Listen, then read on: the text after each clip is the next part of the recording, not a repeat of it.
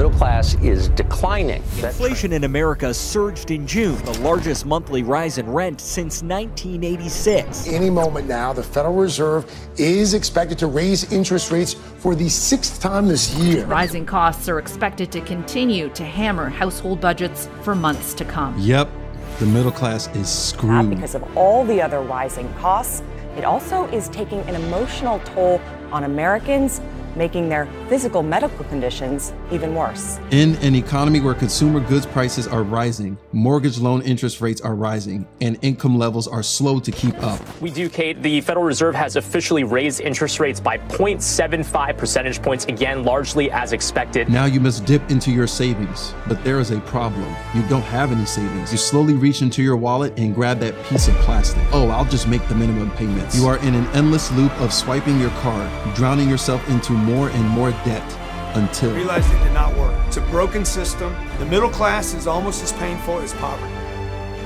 Constant fear. But there is a thing called middle class mediocre mindset. It's extremely detrimental to your success if you're trying to break out of it. The typical American household is now spending nearly $500 more every month on the same goods and services. So I get paid tomorrow and already my whole paycheck is spoken for. Plus, and many of them are telling me their salaries just aren't keeping up. We have new reporting this morning on the effects of inflation. A lot it's the first time in my life I've had to apply for food stamps because I don't know how we're going to continue. So what are you going to do now? Your next move will change the trajectory of your life. What will you decide?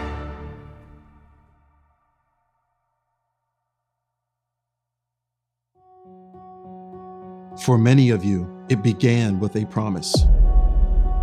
You were told if you follow this route exactly, the results will grant you pure happiness. Get a bachelor's degree, get a job with benefits, put your money in a 401k, and when you are 65, you can retire without a care in the world and be happy. You will live in an abyss of freedom without a worry in sight. Don't follow your dreams. Are you crazy? Your teacher utters to you. What if it never works? You are now consumed by fear, so you push your dreams to the side and follow their advice. But then reality hits. We have new reporting this morning on the effects of inflation. A lot of talk about fuel and food prices, but one area that might have an even greater impact rising healthcare costs.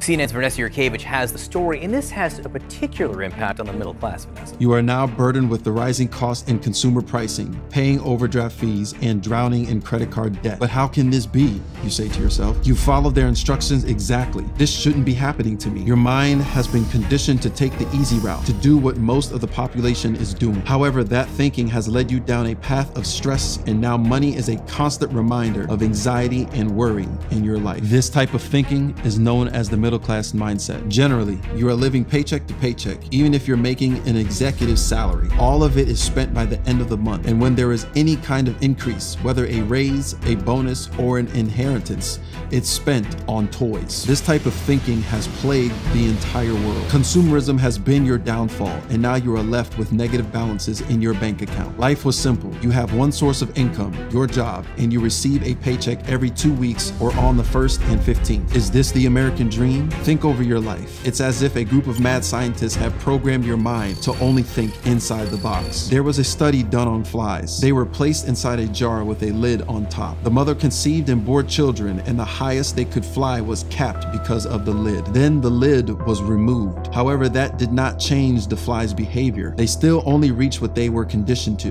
their comfort level, what they were used to. This mindset is an atrocity. You are afraid to do what has not been modeled in front of you, so you just do what you have seen and nothing more. Fear is an absolute dream killer. It will completely immobilize you based on you thinking only the worst could happen. What if it doesn't work?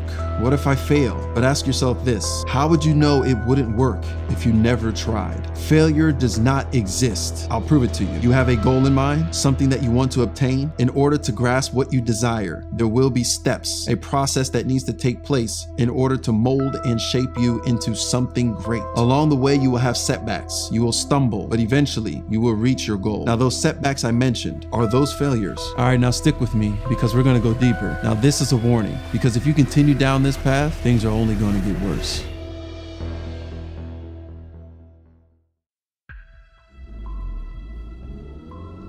$38.12, 329 440 13 Olga and Kevin McGarity are sitting with four years of medical bills. That is the gap that the government won't pay.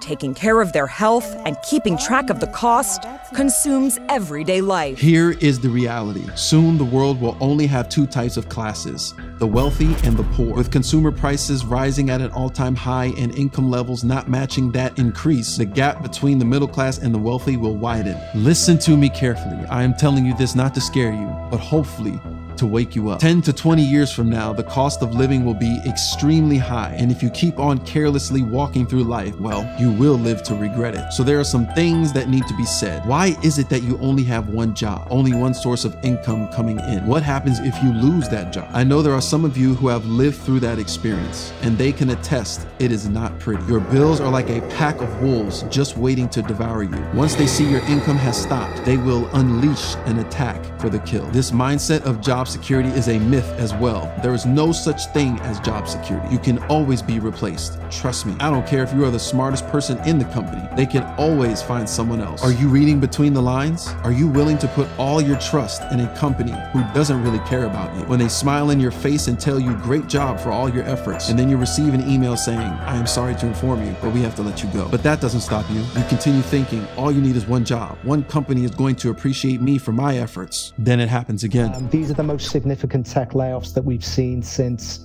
um, basically since the Great Recession, so in, in more than a decade. Do you believe we're on the precipice of a recession, as a lot of people believe? And what are you doing for your clients? What are you advising them to do to protect their portfolios? Well, Frank, I think we're on we're, we're sort of at the beginning of what is going to be the most anticipated recession in probably modern history. Everyone ex- expects the recession. Whenever there is a recession, the middle class takes the hit. With no investments, no savings, and no knowledge of investing, during a recession, the middle class pays the price. When a recession comes, there is only one class that benefits. They understand this is the perfect buying opportunity to acquire more assets. And for those in the middle class who do have money invested, they quickly sell all their assets, thinking they have dodged a bullet because of the drop in stock prices. However, while you let fear consume you and rush to pull your money out, the wealthy are rubbing their hands together with a big smile on their faces. They continue to 4x their money during every recession, widening the gap between the wealthy and the middle class. Now, if this continues, what do you think will happen to you? I have type 2 diabetes, high blood pressure, high cholesterol.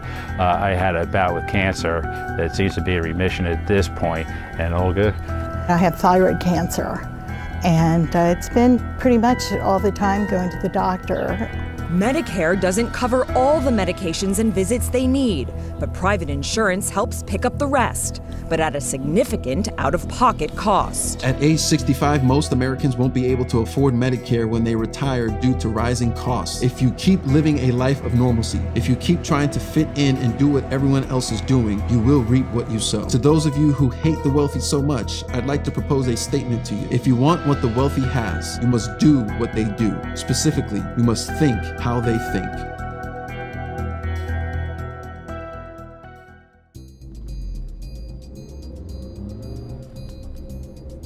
Does it feel like you are living a meaningless life? Like you are a zombie, just coasting through the day, doing the same things repeatedly? Have you accepted that things will never change? Well, that is the trap. You were meant for so much more. You were meant to change the world. But somewhere along the line, you have allowed outside individuals and ideas to warp your mind into something, or should I say someone you don't recognize anymore. Are you really okay with spending most, if not all of your time in a job, working for an employer who really doesn't care about you? You are constantly stressed, worried about money, and living paycheck to paycheck. Then when a beast like inflation comes to devour you, or when your employer that you have worked so hard to produce at fires you, what are you going to do? The ramifications of a middle class mindset run deep. Some of you probably never think about these things because you have been able to get by. You are living a life in a comfortable state, not worried about inflation or job loss because you believe you have job security. You see,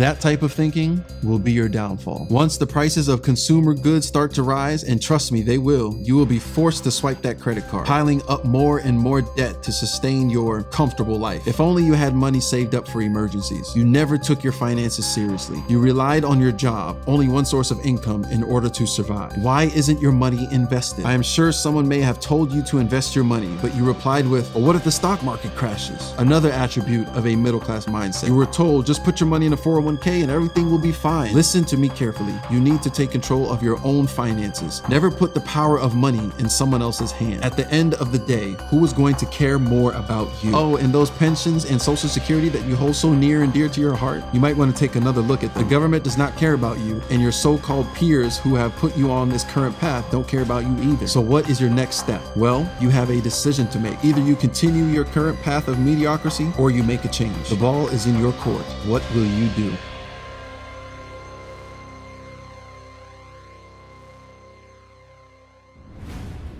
It's time for a change. It's time to take control of your life. People are always telling you, oh, you have time, don't worry about it. No, you don't have time. I hate to be the bearer of bad news, but tomorrow is not promised. Just ask the people who have lost loved ones. Do you want to live and die and never know what could have been? Who you could have become if only you had not let fear and comfort consume you? Are you fed up yet with your current circumstances? If so, good. That is the beginning. Now it's time to act. Start gaining knowledge on how to manage money. Here are some basics. Make sure you have three to six months of your monthly income in your savings account. How can you achieve this? Try putting at least 10% away each time you get paid. You can't afford 10%? Then what else are you spending it on? Are there things that you spend your money on that you don't need? Can you do without those things for a little while? Start thinking on what's most important in your life things or your stress levels. Create multiple streams of income. Stop relying on only your job as your only source of income. Most people today, if they lose their jobs, well, I'll let you ponder on what will happen. Start making your money work for you.